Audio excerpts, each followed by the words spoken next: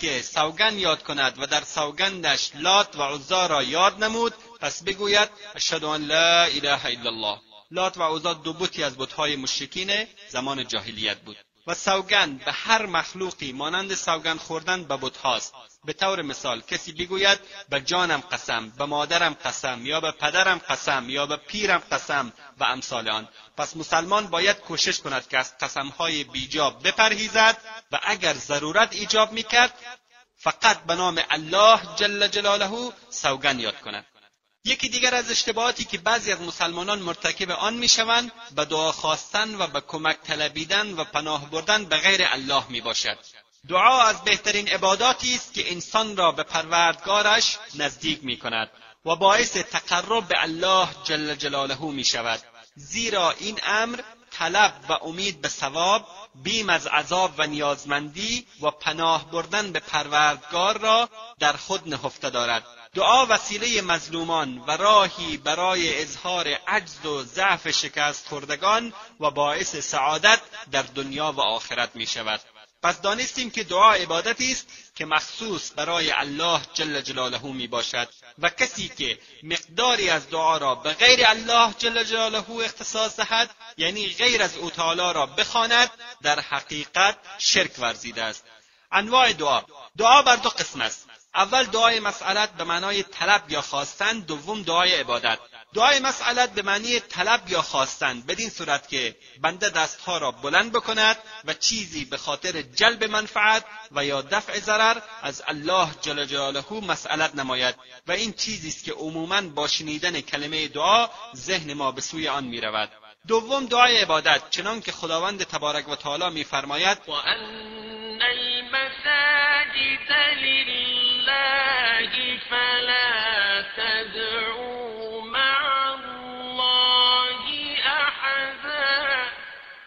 مساجد از آن الله است پس هیچ کس را با الله نخوانید.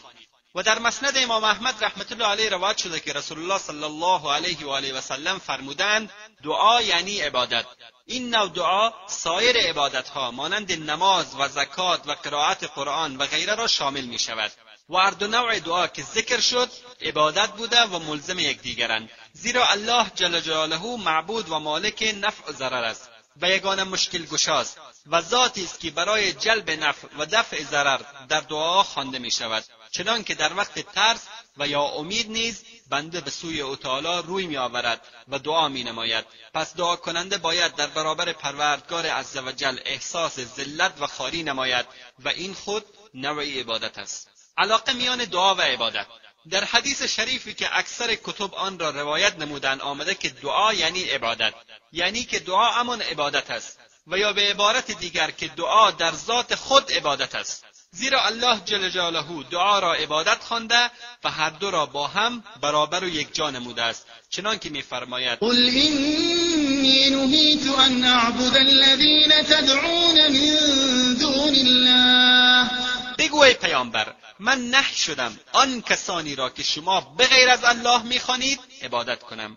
یعنی خطاب به رسول الله صلی الله علیه و آله و سلم است که بگو با آنها یعنی به مشرکین و کفار که الله جل جلاله مرا از آنچه که شما آن را به غیر الله سبحانه و تعالی می‌خوانید نهی فرموده است. همچنان الله سبحانه و تعالی میفرماید. قال ربكم ادعوني استجب لكم ان الذين يستكبرون عن عبادتي سيدخلون جهنم داخرين.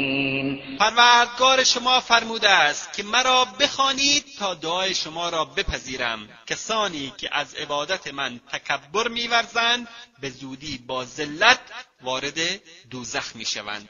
پس دعا عبادتی است که انسان را به الله جل جلاله نزدیک می کند برادران و خواهران مسلمان توجه کنید که الله سبحانه و تعالی برای برآورده ساختن نیازها و رفع مشکلات و مصائب و ارتباط میان بنده و خالقش چه عمل آسان راه نزدیک و کوتاهی را مهیا نموده است. راهی که به صرف اموال و طی کردن مسافات و انتخاب واسطه و پارتی نیازی ندارد. در هر جا که هستید در خانهتان در مسجد در محل کار مستقیما از الله سبحانه و تعالی بخواهید. آیا از حماقت و جهالت نیست که کسی درگاه پروردگار غفور و رحیم را ترک نموده به سوی قبر و زیارت و یا پیر و یا امام و یا چیز دیگری روی آورد؟ پروردگاری که از شارگ گردن به ما نزدیکتر است. و نحن اقرب الیه من حبل الورید.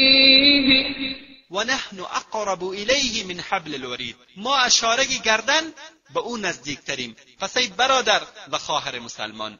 هرگاه خواستی الله جل جلاله را بخوانی.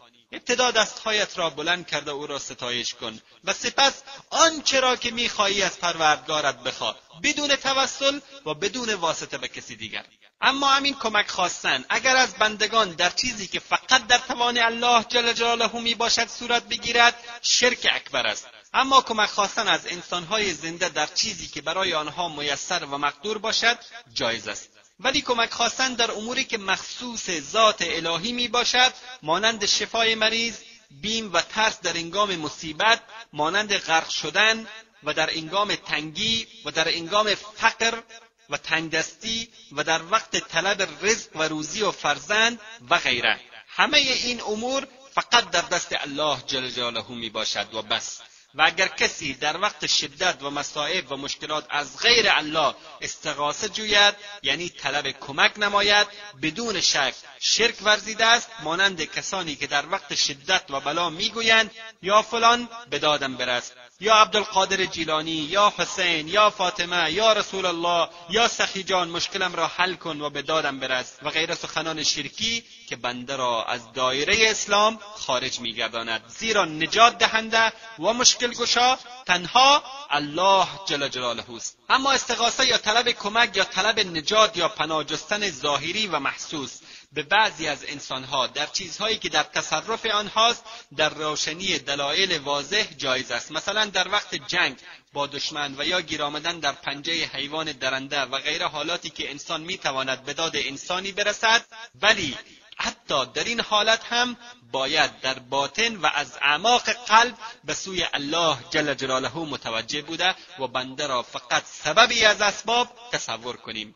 پس کسی که از مخلوق زنده و قادر و حاضر کمک و یاری بخواهد در چیزی که در اختیار اوست به اتفاق علما در شرک داخل نمی شود مانند پناه بردن به انسانی از شر دشمن و یا مانند کسی که به انسانی بگوید مرا از شر فلان شخص نجات بده. و امثال آن که در قدرت و توان انسان زنده و قادر و حاضر می باشد اما زمانی که از مرده یا انسان ناتوان و عاجز و غایب و یا بتی و یا قبری و یا پیری و یا امامی و یا جن و یا فرشتهای کمک و پناه بخواهد شرک به شمار می رود الله جل جلاله در آیات متعددی طریقه صحیح و درست پناه جستن و کمک طلبیدن را که فقط خاص برای او است برای مسلمانان بیان می کند پناه خواستن به الله جل جلاله از زبان مادر مریم علیها السلام طوری که خداوند تبارک و تعالی در قرآن کریم میفرماید و اینی سمیتها مریم ذریتها من الشیطان الرجیم و من او و فرزندانش را از وسوسه های شیطان رانده شده در پناه تو قرار می دهم یعنی در پناه خداوند تبارک و تعالی. همچنان از زبان یوسف علیه السلام میفرماید قال معاذ الله انه ربی احسن مثوای انه لا یفلح الظالمون. یوسف علیه السلام فرمود پناه می‌برم به الله. او مقام مرا گرامی داشت مسلما ظالمان رستگار نمی‌شوند. و الله جل جلاله میفرماید. فاذا قرأت القرآن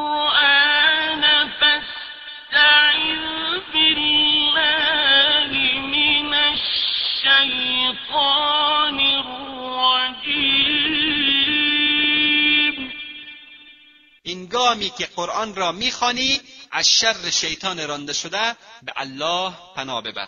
و در دعای رسول الله صلی الله علیه و آله و سلم آمده است. اعوذ بکلمات الله التامات من شر ما خلق. من به کلمات و سخنان کامل الله جل جلاله از گزند مخلوقاتش پناه می‌برم. همچنان پناه